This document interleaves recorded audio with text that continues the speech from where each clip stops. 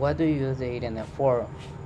Well, I use the internet in different ways. Uh, maybe because I'm such a curious person, I I try to look for, for different things. Um, I'm used to looking for the richest men around the world, then also the most beautiful places around the world, and the most famous scientists around the world.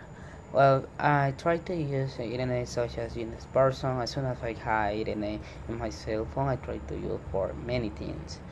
Well, in my opinion, I prefer watching videos about history than checking, spending time on networking sites uh, such as Twitter, Snapchat, Instagram, and the most common Facebook.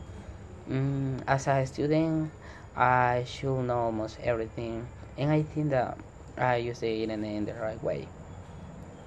And the second question is, and do you think it will ever replace books and newspapers? Why? Why not?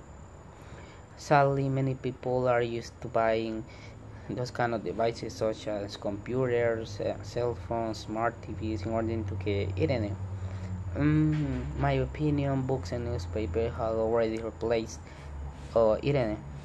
Um, and but there are many factors. The first factor is uh, the um, teenagers are used to looking for information in internet um, so that they can get information easily and that's happening um, because the technology has increased dramatically and another factor is that people are becoming lazy.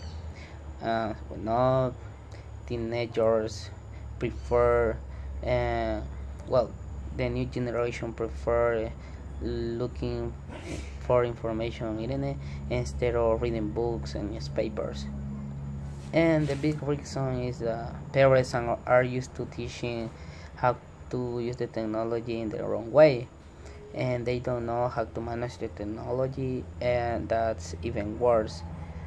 Well i think that uh, we have to get used to uh, using books and newspapers otherwise uh, and we won't understand life and because we have to get used to different things. Uh, in my opinion i i try to read books and and well i have actually i have i, I have already read and constellation and that is a good book. Um, I think that uh, is we have to use uh, properly the technology, internet, and books